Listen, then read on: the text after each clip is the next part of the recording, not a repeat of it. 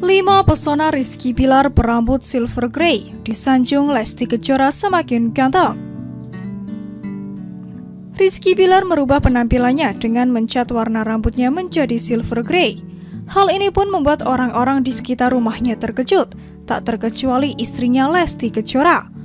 Tidak hanya merubah warna rambutnya, Rizky Bilar juga memotong rambutnya jadi lebih pendek.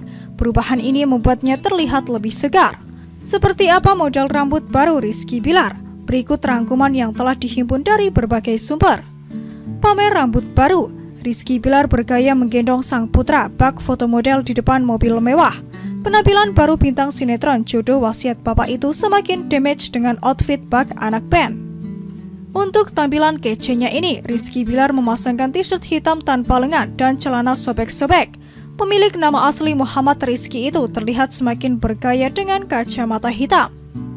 Digendong ayah tersayang, Muhammad Leslar Al-Fatih Bilar yang biasa dipanggil BBL juga tak kalah kece dengan mengenakan kacamata hitam serupa. Putra Lesti ini tampak menggemaskan dengan outfit yang Indonesia banget. Menolak tua, Rizky Bilar menyebut BBL sebagai sang adik alih-alih anaknya.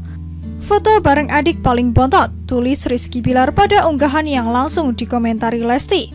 Sang istri juga memujinya seganteng Zain Malik. Gaya rambut Rizky Bilar juga menuai pujian dari rekan-rekan artis serta netizen. Banyak yang menyebut Bilar makin berdemek alias meresahkan kaum hawa terutama ibu-ibu.